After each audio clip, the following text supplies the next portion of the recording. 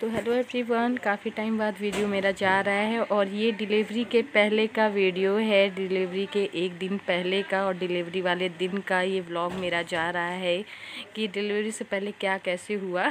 तो सात अप्रैल के बाद जैसे कि नवरात्रि चल रहा है, उसके बाद मैंने वीडियो शूट नहीं किया था। बच्चों की मस्ती वाला बस मैंने वीडियो शूट किया। अपने पापा के साथ इस तरीके से बच्चे मेरे खेलते रहते हैं और मेरे पेट में दर्द होने लग गया था। टाइट पन नीचे की तरफ़ जैसे होता नहीं है। बता नहीं सकती रह रह के पेन उठ रहा था, फिर ठीक हो जा रहा था। मतलब बर्दाश्त करने वाला पेन था। तो कल डॉक्टर को भी दिखाने जाना है और थोड़ा सा जो ब्रीथिंग वाली सिस्टम होता है ना, सांस वगैरह लेने में वो भी दिक्कत मुझे हो रही थी। तो इन्होंने बोला कि कल चलते दिखा लेते डॉक्टर को। तो बस मैंने यहीं तक शूट किया था। तो मेरे हस्बैंड जी हैं और बच्चे हैं, वो काफ़ी ज़्यादा इस तरीके से खेलते हैं। तो इस तरीके से ये बच्चों के साथ खेलते पूरा टाइम देते हैं दोनों बच्चियों के साथ। और बस यहाँ पे मैं डायरेक्टली अष्टमी के दिन शूट कर रही हूँ, क्योंकि सप्तमी दिन मतलब आठ तारीख को मैंने शूट नहीं किया था, डॉक्टर को दिखाने गई थी, उस दिन मेरी हालत बहुत ख़राब थी। बीपी भी लो था, काफ़ी ज़्यादा पेन था तो डॉक्टर ने बोल दिया कि अब डिलीवरी कराना पड़ेगा। तो दस, ग्यारह, बारह बारह तारीख का डेट दिए थे बट दस को नहीं हो सकता था संडे में बंद रहता है और फ्राइडे के दिन भी वहाँ डिलीवरी नहीं की जाती, जिस हॉस्पिटल में मेरा था एमरजेंसी रहे तो अलग बात होती है। तो उन्होंने अष्टमी का दिन दिया था। तो यहाँ पे हम लोग सुबह ही सुबह पाँच बजे उठ गए हैं और आज मेरा होने वाला है डिलीवरी। कह सकते हैं आज मैं जाऊँगी डिलीवरी करवाने के लिए। आज बेबी आ जाएँगे। तो यहाँ पे बस अष्टमी पूजा चल रही है। मिल बैठ करके पूजा पाठ कर रहे हैं। सुबह चार ही बजे उठ गए थे। और आज अष्टमी के ही दिन मैं हवन वगैरह कर लूँगी, पूजा वगैरह कर लेंगे क्योंकि नौमी के दिन संडे भी पड़ा और कई जगह अष्टमी में भी हवन वगैरह हो जाता है और सब अच्छा अच्छा हो। मन में काफ़ी ज़्यादा डर था और भैया, प्रिंसी, मेरी बहन और भाई भी आ गए हैं। मम्मा भी सुबह आ गई थी और बस इस तरीके से चल रहा था, क्योंकि आज सुबह ही मुझे निकलना था। बस हल्का फुल्का खा के निकलना है। ये था टुक टुक अभी सो रही थी। और इस समय सुबह के मेरे ख्याल से पाँच, नहीं, साढ़े पाँच छः बज रहे थे। Hello everyone welcome back to my channel आज है अष्टमी और आप सभी का हैप्पी नवरात्रि। माता रानी का हवन वगैरह हो गया। आज ही हमने माता रानी की विदाई कर दी बट अभी उसमें विसर्जन नहीं करे हैं। हवन वगैरह आज ही कर लिए हैं और आज है बहुत ही स्पेशल डे क्योंकि आज जा रहे हैं हम लोग हॉस्पिटल आज है डिलीवरी नन्ना मुन्ना छः मेहमान या गुड़िया आने वाली है आज। तो बस पूजा पाठ करके ये बैठे हुए हैं और नौ बजे निकलना है। इस वक्त आठ बज रहे हैं। सारी चीज़ें रेडी हो गई और सिस्टर वगैरह भी आ गई हैं मम्मा भी आ गई हैं। तो सब लोग आ गए हैं। लेकिन मामा मामा कहाँ है? मामा पीछे है।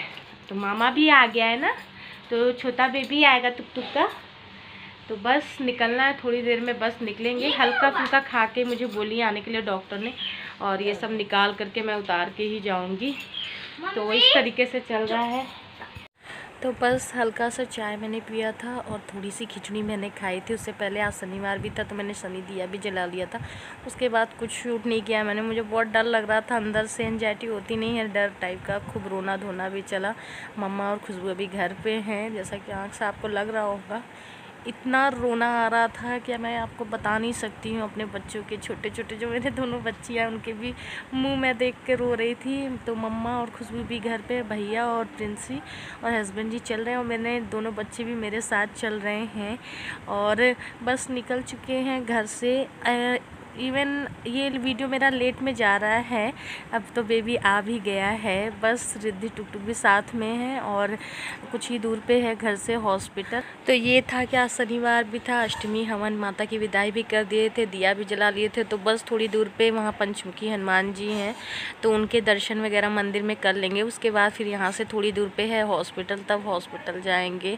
तो ऐसा था हम लोगों का प्लान आ, होता है ना जब हम लोग मझधार में होते हैं या कोई भी खुशी का पल हो या कह सकते हैं ऐसी कोई परिस्थिति होती तो हम भगवान को ज़रूर याद करते हैं। तो हस्बैंड जी वर्दी में ही थे, छुट्टी लगाने के लिए ऑफ़िस गए थे, वहाँ से फिर ऑफ़िस से काम करके फिर यहाँ पर दर्शन वगैरह करके हम लोग निकलेंगे और इस समय सुबह के बज रहे हैं आठ बज रहे हैं और हम लोगों को नौ बजे तक हॉस्पिटल पहुँचना था। तो पंचमुखी हनुमान मंदिर भी पहुँच गए हैं, आप भी कर लीजिए दर्शन।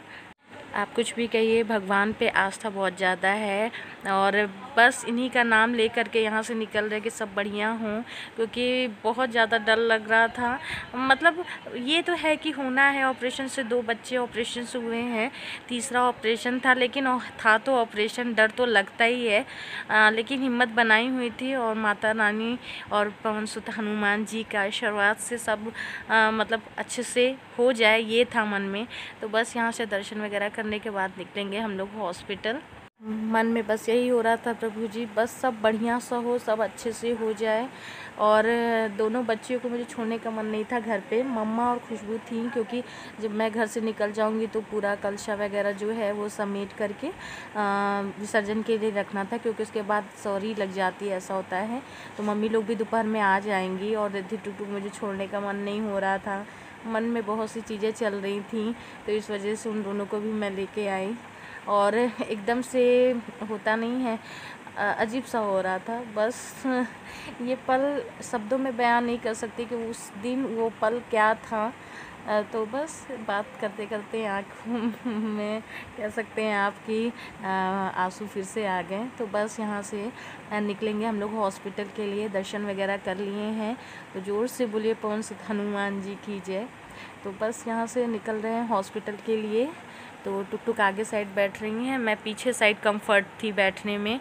और बस यहीं से थोड़ी दूर में करुणाशय हॉस्पिटल है, क्रिश्चियन हॉस्पिटल है। वहीं होगी मेरी डिलीवरी। तो चलते हैं, देखते हैं क्या, कैसे प्रोसीजर है, क्या होना है। तो जैसा कि जानते हैं ट्विंस प्रेगनेंसी है, बहुत चीज़ें, दिक्कतों का सामना करना पड़ रहा था पेन भी हो रहा था टाइट भी हो रहा था पेट। अब ये था बस, जल्दी से हॉस्पिटल पहुँच जाए।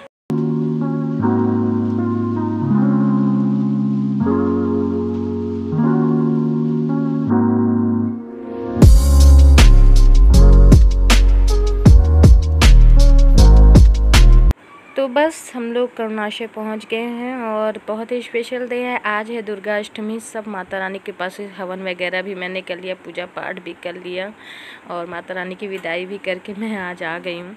तो फाइनली हम लोग हॉस्पिटल पहुँच चुके हैं और बस अब अंदर चल रहे हैं। देखते आगे का क्या प्रोसेसर है। तो चलिए। तो हॉस्पिटल के अंदर चल रहे हैं काफ़ी खाली खाली है। सुबह आ गए थे क्योंकि डॉक्टर ने मुझे सुबह सुबह बुला लिया था नौ बजे पहले मैं आपको आ जाना है। तो यहाँ पे मैं बैठी हूँ अंदर हस्बैंड जी वगैरह बच्चे वगैरह, जो हॉस्पिटल का वर्क वगैरह होता है, वो सब कर रहे हैं। और मैं बच्चों को प्यार कर रही थी, बहुत डर लग रहा था क्योंकि यहाँ के बाद मुझे लेबर रूम में ले चले जाएँगे। और बहुत प्यार आ रहा था, पता नहीं क्यों इस टाइम पर और रिद्धि टुक टुक को मन लग रहा था, अपने पास रख रहूँ। तो बाकी जो हॉस्पिटल के प्रोसीजर होता है ना? ऑपरेशन से पहले पेशेंट का वही सब करना था तो वही सब कर रहे थे। तो ये हुआ कि डॉक्टर का वेट करना है डॉक्टर आएँगे तो उसके बाद आगे की मतलब जो काम है, वो किया जाएगा। तो यहाँ पे ही सामने पड़ता है लेबर रूम तो उधर साइड में जा रही थी। क्योंकि बस अब थोड़ी देर में डॉक्टर भी आएँगे, उनको दिखाना है। तो हस्बैंड जी बोल रहे थे कि नारियल पानी पी लो तुम, उसके बाद फिर कुछ पीने को मिलेगा या खाने पीने को मिलेगा कि नहीं तो बस काउंटर पे सारा वर्क वगैरह कर लिए थे। हम लोग यहाँ वेट कर रहे थे डॉक्टर का। और सारा शूट मेरी बहन है, जो प्रिंसी, वो की है। उस समय बिल्कुल समझ में नहीं आ रहा था कि क्या, कैसे करें। और दिल की धड़कनें कह सकते हैं, हस्बैंड वाइफ दोनों की तेज़ थी। और बहुत सी चीज़ें मन में चल रही थी, कुछ अच्छा नहीं लग रहा था और बस ये सब देख रहे थे कि हाँ कैसे क्या करना है। कैश वगैरह निकाल रहे थे कि हाँ काउंटर पे जमा करना है। तो भैया और मैं और बच्चियाँ, वहाँ सब थे इसी लाइन में और आगे साइड लेबर रूम में। वहीं पे मुझे अंदर ले जाएँगे, उसके बाद फिर मुझे मिलने नहीं दिया जाएगा। तब डायरेक्ट आपको ऑपरेशन थिएटर में ले जाने से पहले फैमिली मेंबर से थोड़ी देर के लिए मिलने दिया जाता है। ऐसा है इस हॉस्पिटल का नियम। तो बहुत सी चीज़ें चल रही थी। गेट बंद कर दिया गया था क्योंकि अब डॉक्टर आ रही थी राउंड पे। तो चलिए इस ब्लॉग को यहीं पेंट करते हैं और आपसे मिलते हैं नेक्स्ट ब्लॉग, बर्थ ब्लॉग में। नन्हे मुन्ने मेहमान के साथ कि किस तरीके से ऑपरेशन थिएटर में जाने से पहले क्या सिचुएशन थी, क्या हो रहा था।